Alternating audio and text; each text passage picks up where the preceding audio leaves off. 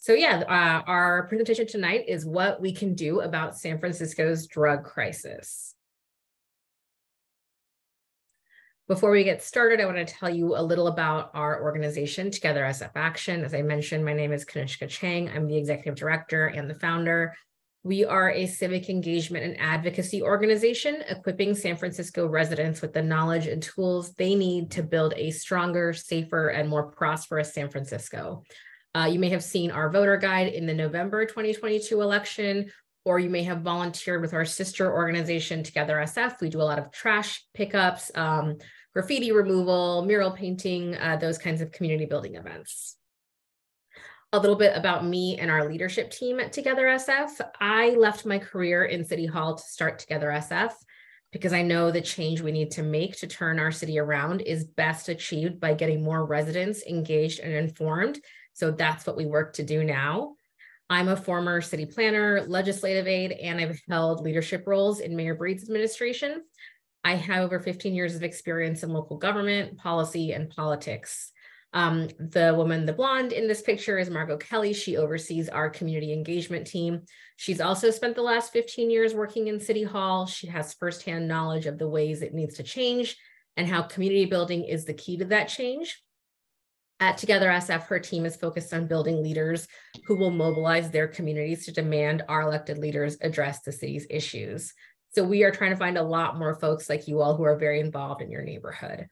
Um, the other woman in this picture is Tanya Malillo. She has an MBA from Stanford and she left her 20 year career in business to take all of her pro, uh, for profit marketing and operations skills and apply it to what we're trying to do at Together SF. She oversees our content and marketing team and is focused on growing the largest group of engaged San Francisco voters who demand change. Our vision for San Francisco is that everyone has enough trust and knowledge to earnestly participate in local democracy. We believe that ending the drug crisis is a crucial step towards that. So let's dig into our program for today. Uh, the city is in the middle of a public health crisis fueled by fentanyl that continues to literally take the lives of San Franciscans every single day. I'm going to tell you tonight the story of what's happening in San Francisco with the drug crisis and brace yourselves because it really it really is horrifying. The drug epidemic is at the heart of San Francisco's dysfunction. To become a functioning and vibrant city, we must first close open air drug markets. We think the drug epidemic is the primary issue the city should be working on. Homelessness, mental health, housing, public safety, the drug epidemic is intrinsically linked to all of these problems. In order to see any improvement in those areas, we must first address the drug crisis. Today, we're going to explain how this crisis influences the city's dysfunction and why it's the responsibility of our city leaders to fix it. When COVID started, San Francisco went all in to keep the virus at bay. So let me ask you this why can't we do the same for the drug epidemic that has already claimed more lives than COVID in the same time period? Let me repeat that. The drug epidemic has killed more people in San Francisco than COVID in the same time period. Our goal is to get our elected leaders to end open air drug dealing and use. San Francisco should be a place where those who are not involved in drug sales and drug use, including those in recovery, are not negatively impacted by drug sales and drug use. We believe this should be the top priority of our leaders, and we do not think that that is an outlandish goal. We are not trying to make San Francisco drug free. We know that drugs will always be a part of our society. But we think that in a functioning and vibrant city, people should not be subjected to the violent, dangerous, and deadly drug trade. Drug markets are a market. We think about how do you kill a market? We have to reduce both the supply and the demand. In order to reduce the drug supply, we need law enforcement. In order to reduce demand for drugs, we need recovery programs. Our city leaders currently do not have a coordinated plan to attack both the supply and demand markets, the supply side of the drug markets. We need law enforcement to arrest dealers. We need the DA to prosecute them. And then we need judges to hold them accountable. We need the city to work with state and federal agencies to address the problem at its source the cartels that bring drugs straight to California. The city cannot address that alone. Now, this could mean the National Guard, the CHP, the DEA, the FBI. We would take help from anybody at this point.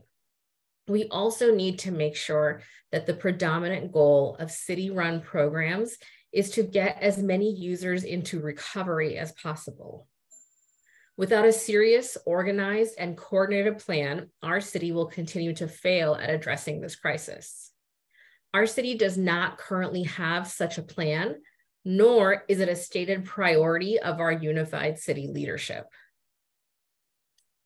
Tonight, we're going to look at the impact, how the crisis has devastated San Francisco, the drug, how fentanyl has changed the nature of the crisis, the role of law enforcement, and the city's approach to treating this public health crisis that is not working. This is how we talk about our city's culture.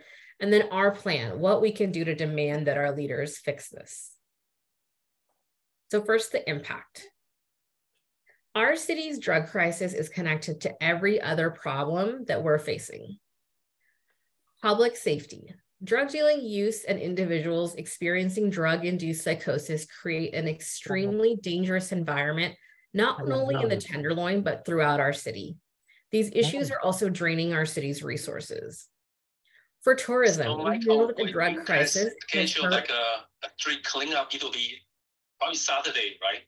It'll be on weekends. Yeah. All right. Let me know. I haven't been to California like more than a year, so can our, can, can uh, our host? Oh, okay. Um, well, yes, you, you know, we could actually we could organize Castro cleanup. Can our host? It's Rick Hall. That we are found, okay, found whoever is um, whoever is making that noise, please mute yourself. Otherwise, um, Mary Eliza or Rick will have to mute you. Thank you.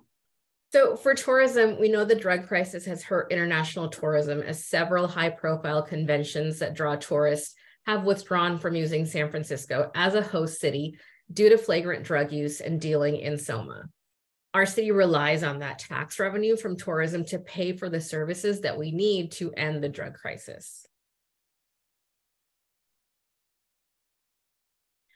Economic prosperity. In addition to hurting tourism, the drug crisis drives crime as addicts engage in shoplifting and burglary to feed their habit. Having dealers and users blocking off sidewalks is a deterrent for customers, and our city cannot thrive, cannot thrive if small businesses cannot thrive. For mental health, a 2019 review of city records revealed nearly 4,000 people are suffering from mental illness, homelessness, and substance abuse disorder at the same time. This review was used to justify the passage of Mental Health SF in 2019. This was a $100 million piece of legislation by Hillary Ronan and Matt Haney, and it was promised to get proper treatment for all San Franciscans needing mental health or substance use health care. That lofty promise remains unfulfilled. And finally, homelessness. A UCSF study found that the number of deaths in homeless people doubled in 2020 and 2021 when compared with the previous three years, with 82% caused by overdoses. So let's look through some statistics on overdose deaths, which are incredibly shocking. Between 2020 and 2022, almost twice as many people died from drug overdoses than from COVID. Every day, somewhere in the city, two people overdose and die. The vast majority of those drug overdose deaths were because of fentanyl. And we're going to get into why fentanyl is so deadly. Over 3,000 overdoses have been reversed since 2021, and over half of those were in the Tenderloin. That's about seven overdose reversals per day. Of course, we want to save every life we possibly can. We also think we should have a goal of reducing the number of reversals needed by getting people into recovery. We have allowed drug use and dealing on our streets to become totally normalized. I think a lot of us see this in our daily lives. This is a quote from Kevin Lee, a San Francisco resident in recovery, who said that open drug use has been normalized to the point There are blocks where the entire sidewalk is filled with people passed out or getting high. There is not enough emphasis on creating access to treatment. Even our mayor has said the sale of drugs on our streets is killing people, and open air drug markets are disrupting neighborhoods for our residents. And Supervisor Matt Dorsey, a vocal advocate for recovery, has essentially accused the city of being the codependent enabler of our city's users, saying our drug crisis owes as much to our civic codependence as it does to an unprecedented level of mass addiction. The social contract in San Francisco is broken. Everyone has a right to live a prosperous, safe, and healthy life. And our elected leaders' jobs are to uphold that contract. They are not holding up their end of the contract right now. Here we have two high profile cases in which children consumed fentanyl. Victoria Moran Hidalgo was 16 when she was found dead in an alley with fentanyl in her system last year. Also, last year, a 10 month old child was crawling around in a park and accidentally ingested fentanyl. Thankfully, he survived. No parent should have to worry about their children dying of drug overdoses. That's completely unacceptable, and it should be a massive wake up call for everyone in our city.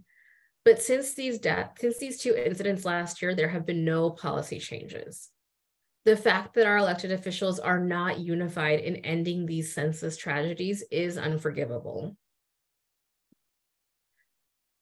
Now we're going to talk more about the drug and how fentanyl um, has really changed things.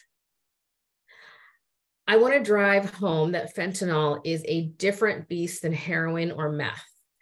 When people are squeamish about arresting drug dealers or users, they're usually remembering how our federal government responded to these drugs in the 80s and 90s with a lot of reactionary policies that were more about racism than about drugs.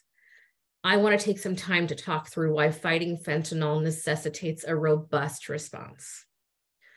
Fentanyl is 50 times stronger than heroin and 100 times stronger than morphine. The little dot in the corner, that represents how potent fentanyl is. And then the giant bubble next to it is the potency of heroin. This shows you the massive difference between these two drugs. Fentanyl is in almost every other drug on the street right now because it is so much cheaper to produce than those other drugs. And an amount as small as a grain of sand can kill you. It's also the perfect street drug. The DEA says that two main cartels are responsible for our drug supply the Sinaloa and the New Generation Jalisco cartels. They are flooding our streets with supply, which, as you can see in the first chart, fentanyl seizures by US authorities at the border tripled between 2020 and 2022. In just the first quarter of this fiscal year, that's the red dot, authorities have seized almost as much as the entire amount seized in 2021. It makes sense then that the price for a gram of fentanyl in the tenderloin decreased from $70 to just $35 during the same period. Keep in mind that with fentanyl being as potent as it is, small amounts of it can be cut into other drugs to make them more potent while cheapening the overall supply. The reason fentanyl is the perfect street drug is that it is cheap. In the Bay Area, a kilo of cut fentanyl powder sells wholesale for only about $4,500, reflecting those cheap production costs. Heroin, by comparison, goes for three times that at about 14,000 to $25,000 per kilo. A fentanyl pill wholesales in San Francisco for $3.50. That's what it costs a supplier. The same pill goes for sale on the street for 20 to $30. That means dealers are making a 700% profit margin in some cases. So, how did we get here? There were three major factors that contributed to our current crisis. We do have a nationwide opioid epidemic. We had the COVID 19 pandemic, and for a long time, we've had lax prosecution of drug dealers in San Francisco. First of all, we do we do have a nationwide opioid crisis that has been driven by pharmaceutical companies who actively downplayed how addictive their products were. This is a multi-billion dollar business for them. The value of legal opioid businesses has increased from $291 billion in 2010 to 424 billion in 2022. The rate of overdose deaths in America is around 20 times the global average. 75% of drug deaths in 2020 involved an opioid. So some opioid users might be prescribed these drugs by a doctor. They get hooked, and then they turn to the street to get more, and that's when their lives unravel. So you might hear these big national stories about the Sackler family. This is how that story is playing out on our streets here in San Francisco. Second, we had the pandemic, which made it harder to go places, and that included drug smugglers moving their product. Because it's more potent in smaller doses and can be easily pressed into pills, fentanyl became much easier to move into the country than those bulky drugs like heroin or meth. So we saw an influx of it. And lastly, San Francisco has been very reluctant to prosecute drug dealers. Our former DA, Chesa Boudin, created a culture of normalizing and decriminalizing drug sales. He did not secure a single drug dealing conviction while he was in office. He sent dealers to programs designed for drug users to prevent them from spending time in jail. He was even quoted saying that prosecuting drug dealers wouldn't make a difference in fighting the drug crisis. I want to reiterate here that criminalizing drug users is a very different thing than holding drug dealers accountable. We aren't suggesting that those using drugs should be arrested and charged, but we do think that the dealers who are perpetuating this death and violence should face consequences. That brings us to the role of the police, the DA, our lawmakers, and our city departments, what they can do to tackle this crisis.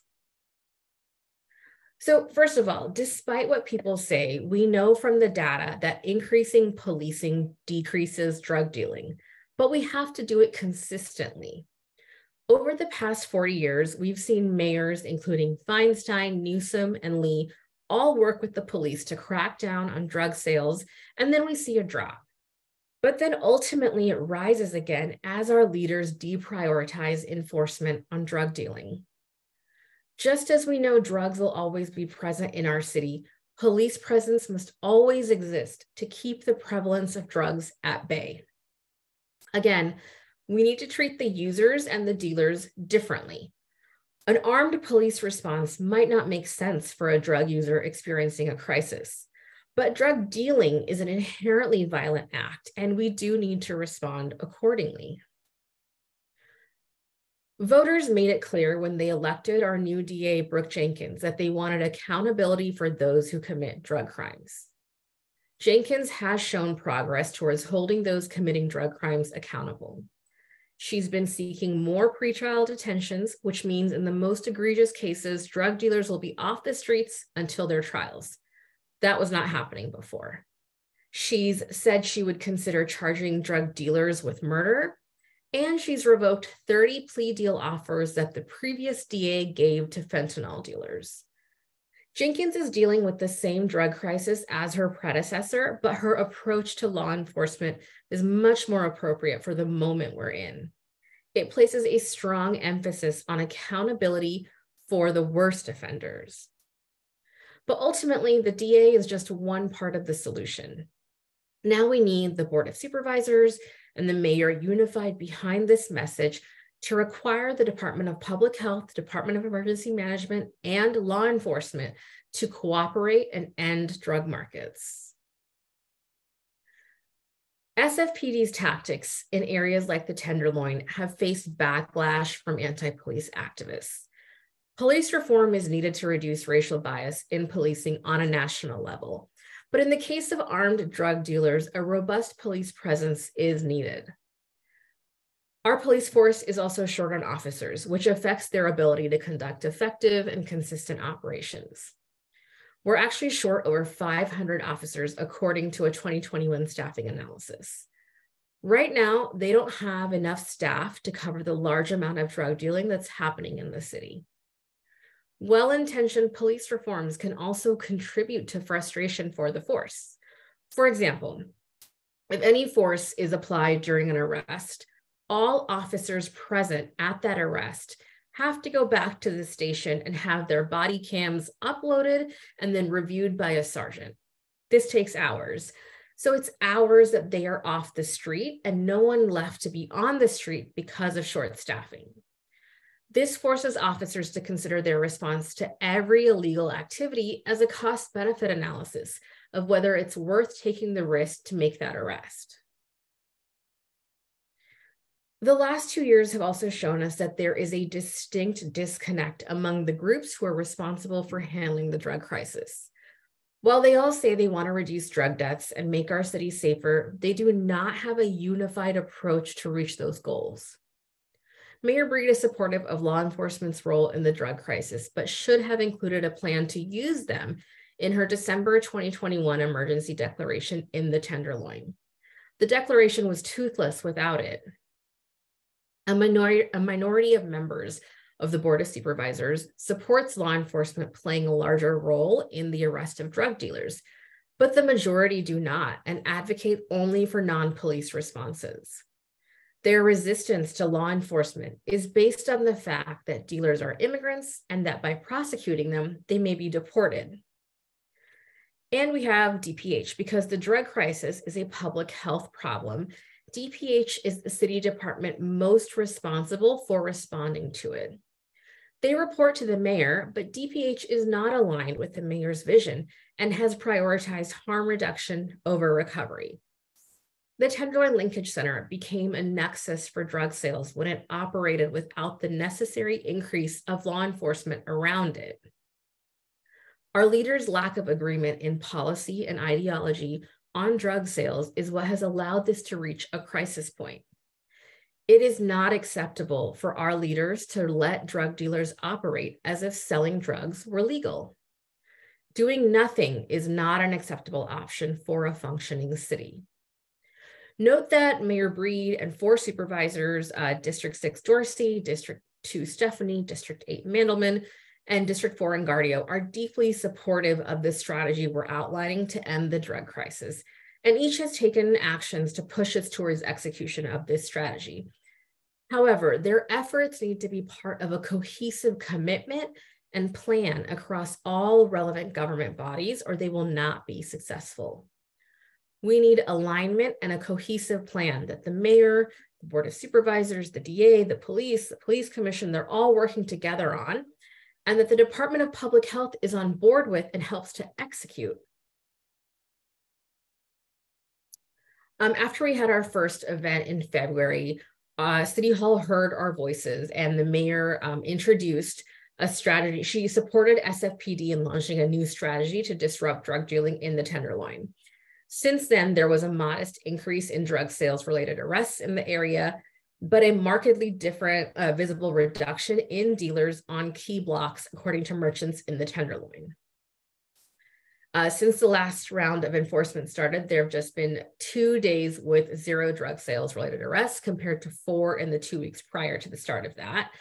However, SOMA between 4th and 9th remains dangerous, and mid market in general could use the same enforcement treatment.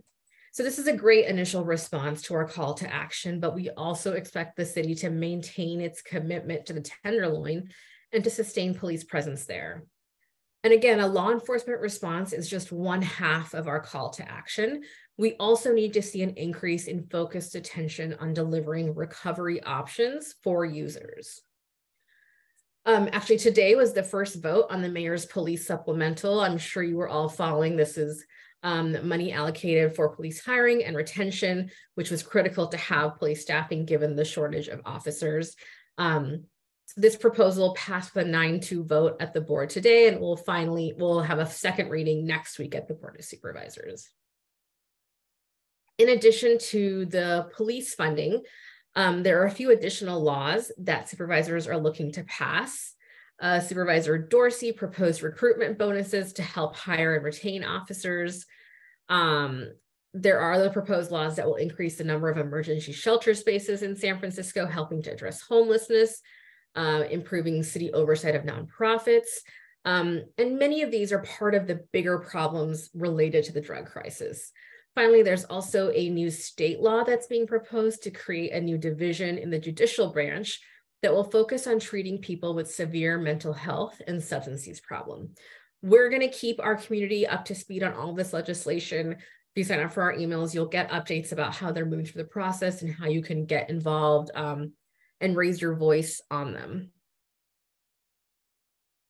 So finally, let's talk about the way San Francisco talks about drug use and recovery, which is primarily driven by the policy agenda of DPH and the activists who are aligned with them. The city's approach so far has been to focus on harm reduction instead of abstinence and recovery. This is because the cultural priority is to ensure no one using drugs is stigmatized. If we treat your addiction as a problem or an illness by forcing you into recovery, we are forcing something on you, and that is never the San Francisco way. Harm reduction provides clean and safe tools and aims to minimize intervention, which is very culturally tied to San Francisco's approach to everything. Taking that further, we have this prioritization of offering a safe space and safe tools to prevent you from harming yourself further. What harm reduction doesn't take into account is how we can reduce harm to the greater San Francisco community. It's also very hard to get into recovery in San Francisco, and we'll get into that too. The tension between whether we should be more focused on harm reduction or on abstinence has led to San Francisco being a place that many would say is enabling drug use versus empowering drug users to enter recovery and improve their lives. This divide matters because people in these two camps are vocal advocates and decision makers in influential nonprofits in the public health space and in city departments. We have to wonder why our leaders see this as a divide at all. Why can't our leaders see that these approaches are not mutually exclusive? We believe that a spectrum of services across this range would ultimately be the most impactful. On the left, you'll see some ideas about San Francisco's current ethos surrounding drug use and treatment. In San Francisco, our whole ethos is a hands off approach unless you need clean supplies to do drugs with. Then we give those to you. When those suffering from addiction commit crimes, the city considers your condition when it comes to accountability. It has been considered a violation of people's civil liberties to suggest that the government should be able to compel people into treatment. But this is ultimately enabling addiction and allowing it to continue. These are contradictory arguments, right? If we believe that people cannot be held accountable to the crimes they commit that are driven by their addiction, how can we expect them to proactively go into recovery? If we're saying they're not in their right mind, shouldn't we be stepping in we all likely know someone struggling with addiction. How far did it have to go before they were able to seek treatment and recovery? On the right, you'll see how this attitude influences policy. This is the actual 2022 plan from DPH to tackle the drug crisis. The goals are ridiculously small. They want to reduce fatal overdoses by 15% citywide by 2025. Based on last year's total of 638, that's still 542 overdose deaths. That's the goal that they're shooting for. The focus should be on getting more bed space and getting more people into medication assisted treatment and other behavioral health therapies instead of just restoring a heartbeat. We also have Prop T, which is the availability, which is related to the availability of drug treatment beds. And we're going to talk also about the Tenderloin Center to further reveal how our city's culture of approaching this crisis results in the lack of progress. In order to understand the systemic failure by the city to act on the drug crisis, think about this. In 2008, voters mandated that the Department of Public Health constantly have a stream of enough drug treatment services to match demand. Prop T requires DPH provide enough substance use disorder treatment capacity to meet the community's demand for publicly funded treatment. Our leaders have failed to deliver on the promise of Prop T, as there's been a shortage of beds year after year. Prop T did not encourage tracking client outcomes, only intake and services dispensed. DPH's Prop T annual progress reports have lacked these crucial details. Until last year, they failed to track how many unduplicated clients had been served and what their goals for the next year were. We, as voters, know this is a failed policy. Because if DPH could meet the demand for drug treatment services, we wouldn't have people living in misery on the streets. DPH can prioritize this. They have enough money to, they are a $2 billion department, but they have not. This city has over 20,000 injection drug users. Simply put, San Francisco is failing drug users by failing to meet treatment demand. They instead enable a demand for the drugs. Let's look at where the city delivered enough services to meet demand in 2022. There were 1,050 people treated for withdrawal management with just 69 beds. There were 900 clients treated in residential settings with 415 beds. The city is only treating two thirds of the people it can for opioid addiction, and it's only meeting 29% of its capacity for substance use disorder treatment. This leaves a lot to be desired when there are thousands more people who use drugs who aren't in the system. Again, if the city wanted to prioritize this, they would. We have seen them act strongly and quickly with regard to COVID. We are not seeing that with regard to the drug crisis. For those who don't know, the Tenderloin Linkage Center was a city sponsored safe consumption site which had nonprofit contractors overseeing harm reduction services. The Linkage Center came to represent the cultural dichotomy between harm reduction and abstinence based recovery methods that exists in the city because it overwhelmingly focused on reversing overdoses instead of actively getting people into treatment. We need facilities that focus on getting people into recovery while also offering harm reduction services. These facilities must also have law enforcement support to ensure they operate safely and that they're not a negative impact on the surrounding community.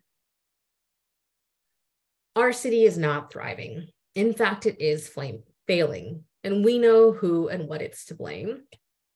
Make no mistake about it, our mayor and our 11 member board of supervisors is responsible for getting San Francisco's drug crisis under control. Coming back to our two prong approach, we need to empower law enforcement to get these drugs off the street, and we need to make sure that both harm reduction and recovery are part of the plan to reduce the number of people who are dependent on drugs in our city. Uh, as a former aide, we I know how impactful it can be when your inbox is flooded with emails. It's the only way that City Hall will not ignore your requests. And so, what we have been asking our community to do is send in a letter. Um, you can scan this QR code. We'll put a link in the chat afterwards. But let City Hall know that you want ending this drug crisis to be the top priority this year, that they must take action, they must come up with a plan, and they must take this seriously. Um, and so with that, I'll end my presentation and I'm happy to um, to take questions from anybody. Okay, thank you, Kanishka. Um, as I said earlier, uh, the the way we do Q&A is that uh, first our uh, pre-selected questions pre-delivered uh, to me uh, are asked by me. Then we go to our members uh, who ask their questions. And lastly, we go to non-members who are here tonight to ask their questions. Uh, please keep your questions brief, simple, to the point. Don't go on and on about uh, an introduction before you ask your question. Now we have two questions tonight. Uh, first question is, uh, concerning other cities. Aren't there other cities that have uh, had success with um, uh, drug prevention, uh, drug treatment programs such as methadone maintenance? Yeah, actually, something that's come up at our events. Usually, we do this event in person. We have somebody from the police, we have someone from the recovery community, and we have someone from the city services side speak about their engagement on the topic. And um, Sam Dodge, who runs this Healthy Street Operations Center and has worked on homelessness in the city for his entire career, he talks about an academic paper that studied four European cities and how they responded to their opioid crises. Um, and all four of them have something in common. They did four things. Um, it was harm reduction, which is considered medicalization. They did treatment, they had shelters, and they had a role for law enforcement. And the biggest thing is they did all four of these things together. They didn't do one at a time. They all have to happen together.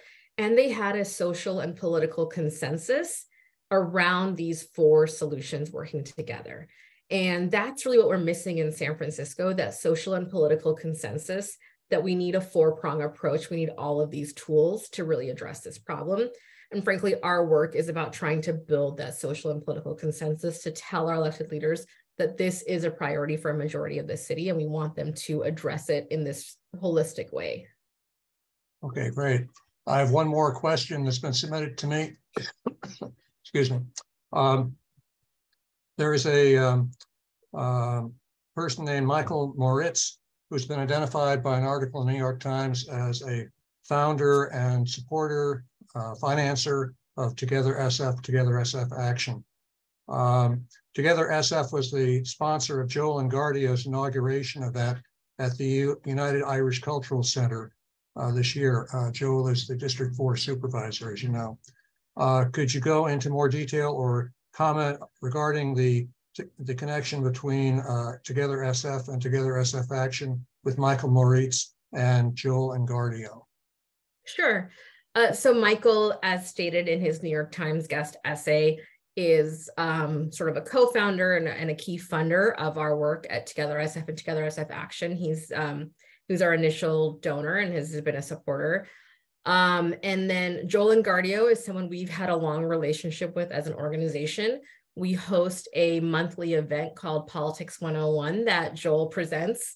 Um, and he has been presenting it for over a year, well before he was even running for supervisor. Um, and so we support him as a community leader and someone who engages with us. And so we also endorsed him when he ran for supervisor in November. Um, he was recommended in our voter guide. And so we have a pretty close and supportive relationship with Joel. Okay, great. Thank you. Now for um, the next part of the Q&A, uh, I would ask people who are members of CSFN uh, to go down to their um, uh, dashboard and to see the, the place called reactions and to uh, click that on and raise their hands mechanically as I have raised mine. Okay. And if you are calling in or um, uh, can't activate this, then as I just did, lower your hand. But anyway, uh, if, if, if you have a problem and need to raise your hand physically, uh, Glenn will uh, help me uh, identify people uh, both with mechanically raised hands and with raised hands. And I see we have a, a question already from Claire Zavansky. I don't have a question. I my comments are in the chat. Oh, Marty has a question. Um, oh, yes. oh, sorry. Okay, Mari. Yes, I just had one question uh, regarding um, treatments. Is there a drug like methadone that works for fentanyl, or is that only uh, is that one that doesn't work that way? There is something called uh, buprenorphine um, that the city does have a supply of that helps people come off of fentanyl. It's still very, very hard and challenging. There's a lot of physical reactions to it. Um, I believe on April I forget the date that we're doing it. Um, Kyle or Rob, if you can remind me, we're doing a an event um, that is very much like this, but it is specific to the treatment options the city offers, and will be a much deeper dive into those various um, treatment options. It's April fifth. Okay, I'm looking for uh, hands, but I'm not seeing them. Uh, I know we have uh, two, we have one or two uh, um, uh, call-in patrons. Uh, do either of you call-in people have a question that you'd like to ask? Um, Eileen? Rachel Grant has her hand raised. Okay, I'm, I see that, but I'm asking first uh, for Eileen to ask a question. If she has it, then I'll go to Rachel. Actually, Rachel is not a member, but we'll get to her, don't worry. No call-in questions by member members? Okay, are there any other questions by members of CSFN before we go on to other questions? Okay, Charles, I uh, I pre-submitted my question. This is this right. Is yeah, and, yeah, she's already answered that. Thank you. Appreciate that. Okay, seeing no further questions from CSFN members, Rachel. Oh, I'm sorry, Rachel. Yeah, you are a CSFN member now. Yeah, it's all good. Okay. no worries. No worries. Well, just I'll get it right. first of all, yeah, for um, what a great little presentation and very um, helpful. I found like just understanding why this particular drug has become so dominant, um, really insightful when you're talking about solutions, uh, particularly when it comes to treatment, we know that um, housing is important, but not without wraparound services. And I'm just wondering about, you know, we saw in the SF Boundless documentary how, you know, a large campus was built and developed in Texas. They have the land, they have the space.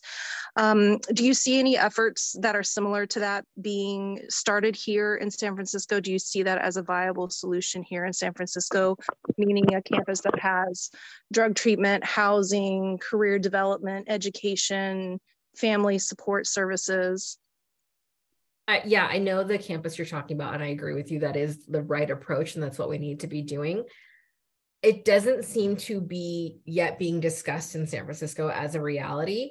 I think a lot of that is because San Francisco's policymakers are not yet focused on those wraparound, like truly holistic services to get people out of addiction, stabilized and then into recovery and then into living a full life.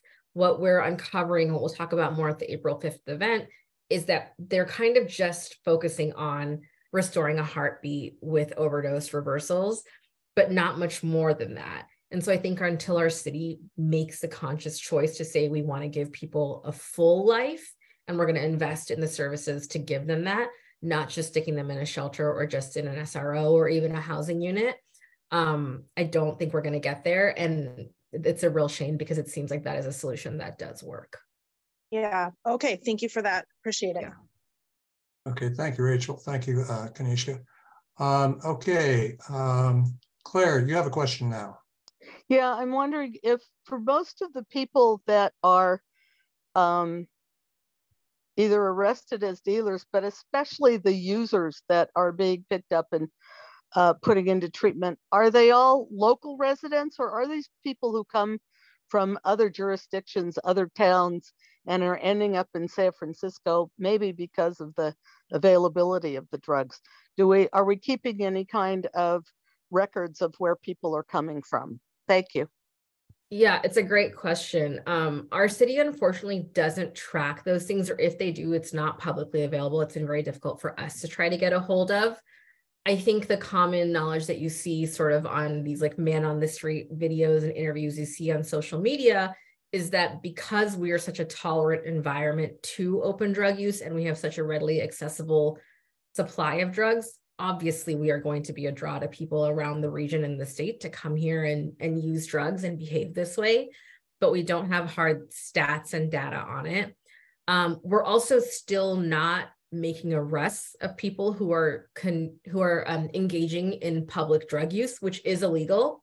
But as a city policy, we don't arrest for that. And so what the new DA has put in place is a rule where they get cited for open drug use. And upon three citations, she will bundle them and bring forward a case where she offers you either to go through a trial where she'll prosecute you for that open drug use, or you can take treatment. So that's sort of the closest we come to compelled treatment in San Francisco. Okay, thank you. Can, can we somehow um, ask the city to provide some of the information with regard to um, where these people come from? I mean, is it an unreasonable request Is it violating anything or uh, I don't, I don't think it's an unreasonable request for law enforcement. I think it's probably part of citation and arrest records. Um, but with DPH, they really don't collect any of that. And we see that as a big problem. And how can we make data-based decisions about what's working if we're not tracking the users that are coming to the city for these services? Um, but DPH has not been interested in tracking those things. I think they are citing HIPAA violations. Yeah, um, but it is HIPAA, something that we are digging more into. Yeah, because it, yeah. it okay, would thank you, Claire. they would hide it under HIPAA. You're right. right. Thank you. Right. Claire, one question per person. Thank you, Claire. Okay, George. George, I think you're muted. Yeah, George, you need to unmute yourself. Okay. Hi, Kanishka. Hi, George. Um, do you know how much San Francisco spends on homelessness a year? The number that's thrown around is a billion dollars a year. Yeah, I've heard that. Yeah. And um, forgive me, Charles. I just do you know how many nonprofits there are working on homelessness right now? I don't know that number and they overlap. Yes, are, there's a lot of duplication. Non, are you a nonprofit as well? We are a nonprofit, but we don't receive any city funding or have any city contracts. How do you see your role fitting in with the other nonprofits in the city?